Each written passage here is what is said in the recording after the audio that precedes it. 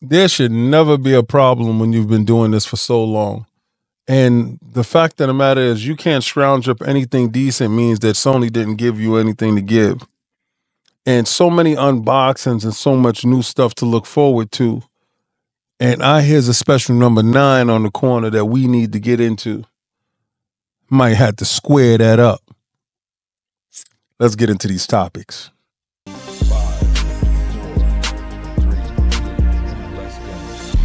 We got a lot to discuss. When it come to news, ain't no better than us.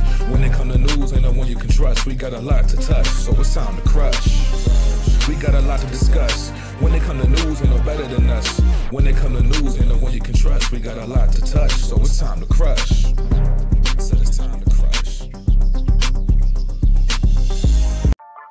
Peace and blessings, and welcome back to Xbox Frontline News with your boy, the King. And today, it's it's like um, you know, like gearing up for for the Super Bowl or whatever. You're getting ready to get out. You're getting ready to go forth. You're getting ready to take care of your business. You're getting ready to go see things. You got to do a lot of work. You're gonna meet up with a lot of old friends, a lot of new friends, and a lot of people that you've um, been talking to online. Now it's face to face. Time to put the face to in, in person, and that stuff needs to happen. But if this is your first time finding the channel, please take my invite and become a member. Subscribe, uh, hit that notification bell, and follow me on our journey to this uh, wonderful games conferences this weekend. We have Summer Game Fest, we have IGN, whatever that's called, and we have Fan Fest that we're going to be dealing with. In doing that, I want everybody for whatever games that y'all want to see whatever y'all want to know about. Members. Now, let me explain that to you because uh, you know, a lot of you dudes think I'm going to be putting up all that stuff here. Nah, that stuff is going to be there for the members because it takes my channel to a different direction. And this is a news channel, a lot of satire, but heavy news. So I do report on PlayStation games. I do report on Nintendo games, uh, but I do cover and I do cover Xbox games heavy. You know, I do talk about Xbox stuff very heavy, very positively because I see where they're going and that's my platform of choice. So if that's something that interests you, stick around, follow through, and I'm gonna keep that news coming. Pause. No diddy. We don't do that here. But at the same time, we're gonna have fun with this. All right. So what I'm gonna start with. Oh, you know what I want to start with? I want to I want to start with something that has disappointed the crap out of me, man. Let's get into the disappointment real quick and then we can talk about it. Today's final shape day, everybody's getting it together. Now, yesterday I had a little bit of problem with the music. What happened? Something went weird with the upload, but I'm making sure everything is, you know, pretty good right now. So, you know, some Destiny 2 players are having login issues on Final Shape launch day. I'm one of those individuals. Shout out to legendary Yobi. That's my brother um, from another mother, 100%. But um, I'm having problems with the login of uh, Destiny 2. Destiny 2 players face frustration with login issues on the Final Shape launch day. Bungie is addressing the login problems and has temporarily disabled weapon perk swaps in Destiny 2. Destiny 2 players may continue to face issues for a time being as Bungie works on a fix. Destiny 2 players are having issues logging into the game with the Final Shape on the launch day. Bungie is looking into issues being reported by the community. These issues are causing a lot of frustration among Destiny 2 players wanting to experience the conclusion of the Light and Darkness saga. Destiny 2 The Final Shape. Players will infiltrate the heart of the Traveler and battle the forces of darkness led by the Witness in order to face the powerful enemies lying in wait. Players can harness new powerful prismatic powers and raise their power level to with new gear drops the, progr- the progress through the campaign and, particip- and participate through new activities. I'm frustrated right now because it is uh, five and some change in the PM, and I've been trying to play this game since one o'clock p.m. Eastern Standard Time. My level of frustration is beyond because my anticipation for this is years in, in, in, the making, years in the culmination of this. This is, you can hear my frustration in my voice. Um, it's just this this is disheartening to be honest with you because I still not able to play something that is paid for, and I'm and I'm ready to play, and I put time to the side, you know, and, and I only have a little bit of time before I, I fly out, and this is just very very frustrating. You have no idea how frustrated I am with this process, and this is sad to me because I really wanted to play this game. I really wanted to play it so bad, and I'll probably have to play it tomorrow on, on my last day here, and and it sucks. It really sucks. Yo, I've waited for Final Shape since the moment that Destiny came out. You understand? Because it has been building towards that. From Cayde's Death to Zavala stuff to everything that's going on, from real life to virtual life to everything. I met my best friend inside uh, uh, Destiny. Uh, Hot Monkeys Loving. Um, man, I love that guy to death. Uh, I met my one of my other best friends, uh, Green Mason, uh, and Daddy Foster and them dudes. We all was playing Destiny. At some point, we we migrated over from Destiny One to go over to Destiny Two. We've played that game. I've played that game so much, like it was college course every day. The same way I'm on Fortnite right now. I'm one of those people. When I get into something, if it's a habit, it's something that I want to rock with. That's something that I'm going to put my all into, and that's something I'm going to play. I'm going to play from beginning to end.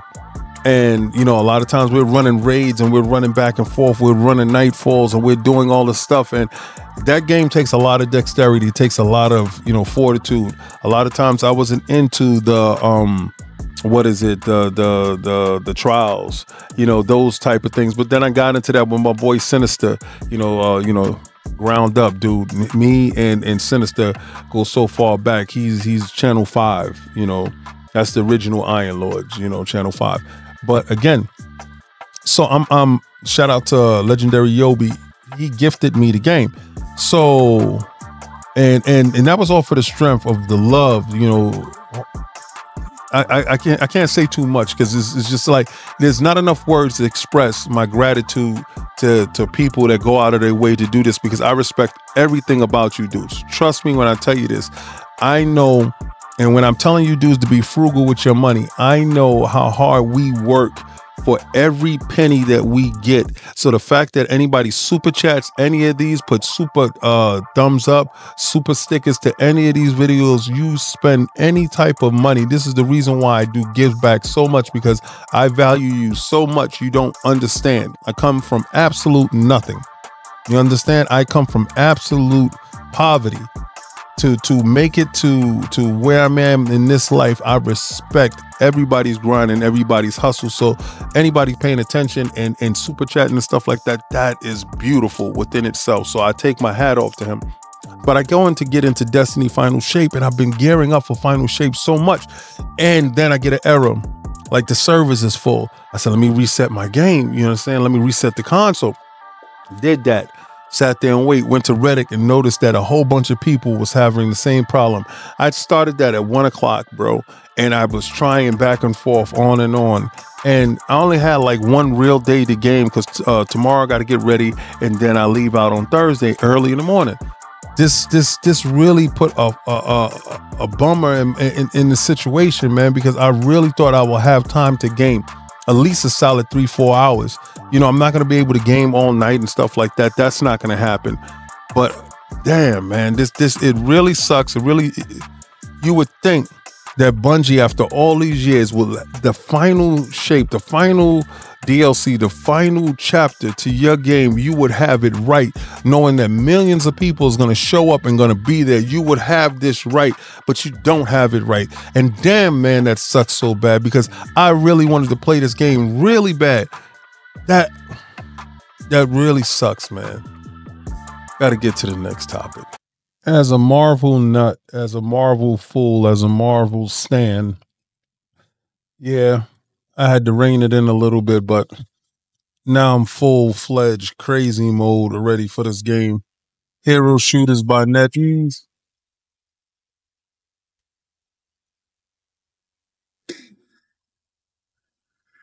Art style looks great.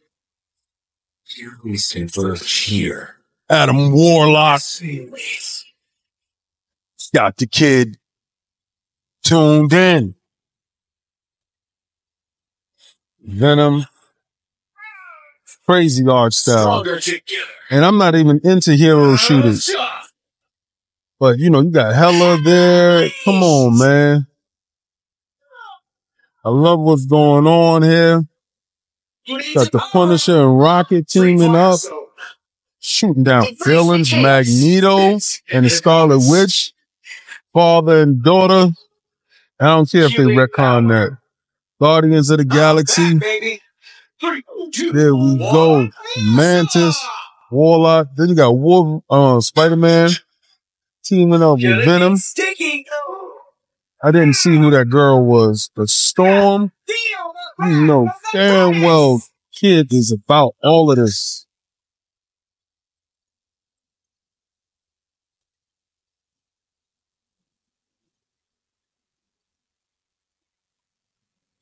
Can't wait to get into this game. Because we'll be doing a review on this.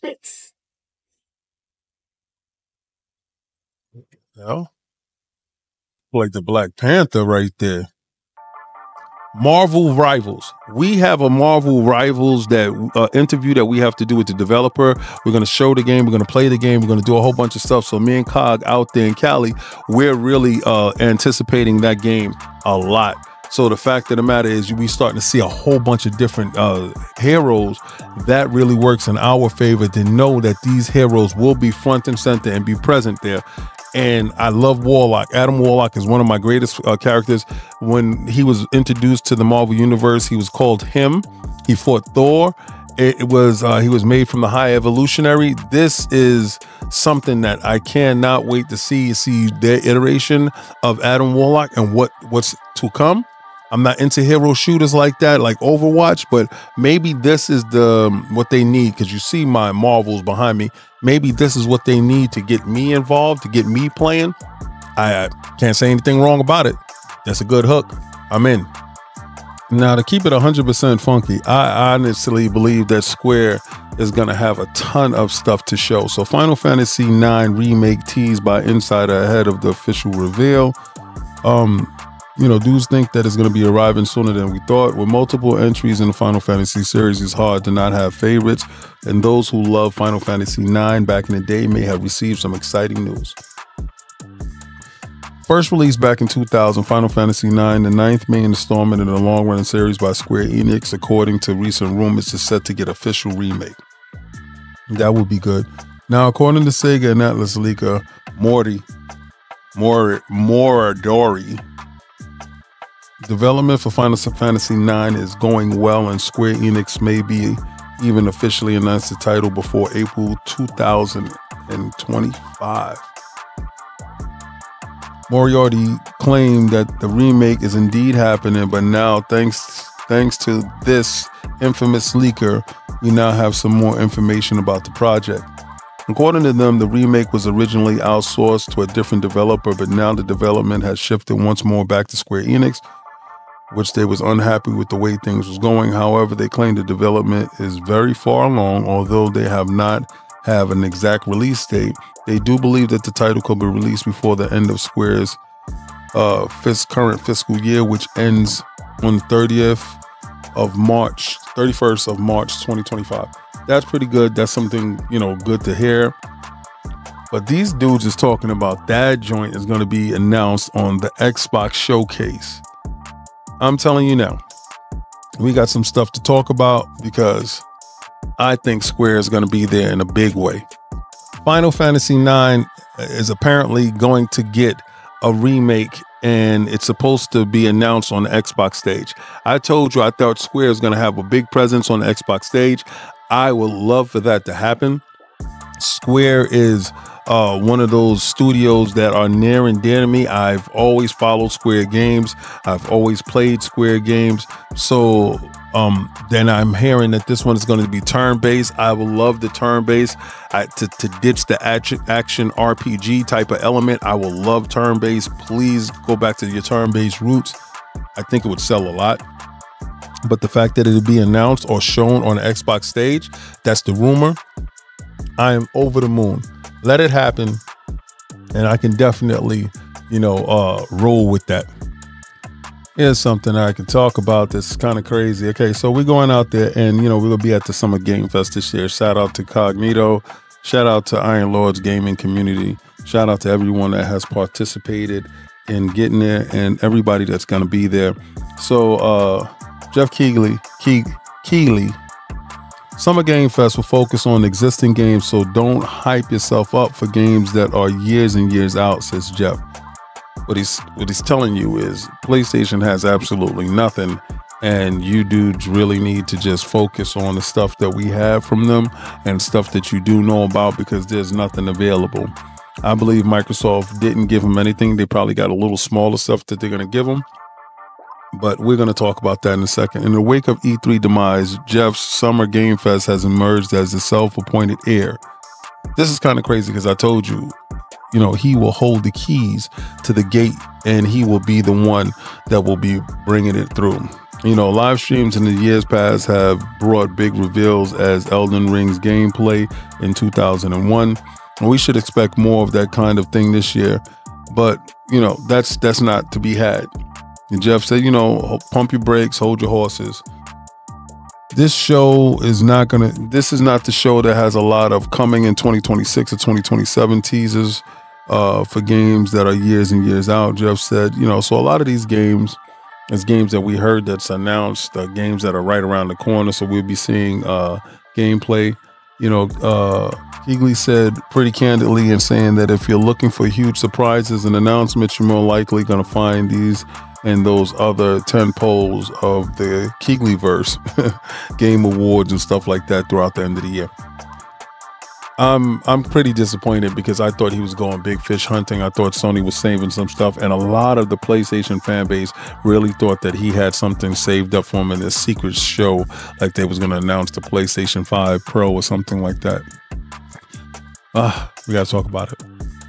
The fact that Geoff came out and announced that they're temper your expectations. There's no big announcements and stuff like that. Maybe he could be uh, giving you the sidestep, giving you the juke. I don't think so. I honestly believe Sony didn't have anything to give him. I don't think Microsoft threw any big bones his way. I think Microsoft is keeping everything in house. I believe Microsoft has learned their lesson and understand who messes with them in this industry and understand who don't. And they need to let their games speak for themselves and do their stuff at their pace and, on their terms. Because if they're not going to treat you right, hashtag no PlayStation 6, you keep the boot on Kong sex this whole generation. There won't be any PlayStation 6, and I won't stop banging until you become an app. Pause. That's exactly what's going to happen. We're going to keep this right here. Dudes didn't want to give us a fair shot. Nobody ever wants to give Xbox a fair shot. Everything always has to be Xbox tax and all this disrespect. All right. Popeye's biscuits for you. It gets absolutely nothing. Everything gonna be shown over here, and let's see how you do over there if we starve you out. You, are not the end all be all, and it's no disrespect, but uh, you know we lead with respect until disrespected over here and it feels like Xbox has been disrespected for a very long time. So we can't take that any longer. So we ain't not gonna give you anything. If you want some stuff, you can get some mobile games from King. But we ain't giving you anything else. First, let me start off by saying, have you ever been a little kid that played with GI Joes and stuff like that in your backyard, and you just wanted to play with your toys and and just get down into the dirt or whatever? You just you know you and your friends. Well, Hypercharge is here. This is crazy. The game looks phenomenal.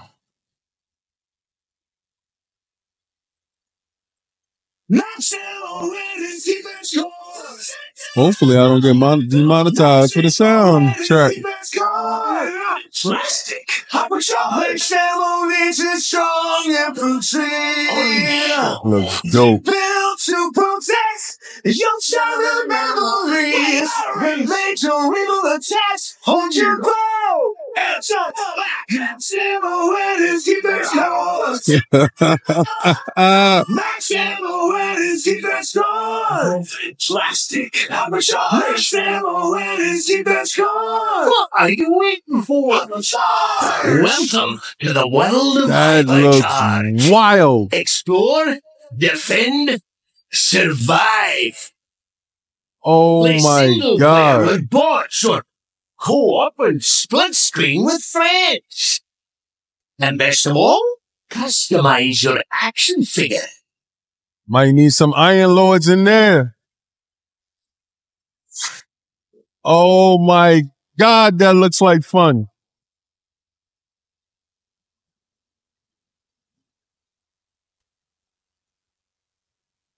Oh, yep. You got to do this community day, y'all. Get ready. Game. Community day. Let's go. Hypercharged, unboxed, looks dope. Looks like something that we can play with the community. Community gaming is what I'm about. I'm about the team. I'm about friends, uh, friends and family. I'm about us having extended family. I'm about fight nights. I'm about all of that stuff. If we can get in, we can have fun. That's what I'm talking about. And it looks like to bring back that backyard feeling, that fun. Uh, I suggest everybody go out, try the game, buy the game, get into the game, and check it out. I'm going to be picking the game up and definitely have some fun with it and see what we can do with it on you know a, a family uh, community night. That stuff is always good. Now every video up until when i'm in california i'm going to be asking you guys daily what do y'all want to see? What do y'all want to hear from everything that's going on? I don't care if you're a playstation dude i don't care if you're a nintendo dude i don't care if you're an xbox dude. What games do you want to see? What do you want to know about? What do you want me to do while I'm out there. I'm your eyes and your ears, all right? I'm your mouthpiece. Pause. Don't use me wrong because I'm not playing that game with you. Hashtag no Diddy. We're not doing that here. Cut that out. Pause, you weirdos. But at the same time, not for nothing. If you can't make it out there, you can't make the flight, you're not close, you don't have the funds, you can't do whatever you need to do. I'm there. Tell me what you want to see. I saw people ask me to talk to Undead Labs. If I got the ability to talk to Undead Labs, you best believe I'm going to talk to Undead Labs. I have friends and family there. So I will reach out to them and we will have the talk and we will see what they're working on, whatever they can talk about. Uh, you know, I know y'all want to see um what you call it part three, of Decay three. If they have that there and we can have that conversation, if I can get some behind the scenes, I will have it. But also remember, all the footage and stuff that I'm putting up is for members. All right, so that's only fair. That's how I'm doing it. You know, um, it's no disrespect, that you know, but these members been holding me down like for real. Like I'm being real with you. Members done been members. I've been putting stuff up for members. I've been giving out coins and food for members. So I got to give the members their stuff first, you know. And and the algorithm pushes me in a different direction. You guys are finally finding the channel now, so I do appreciate you guys finding the channel. But this is the part in the video where I'm gonna tell you to like, follow, and subscribe. And I'm gonna take that logo.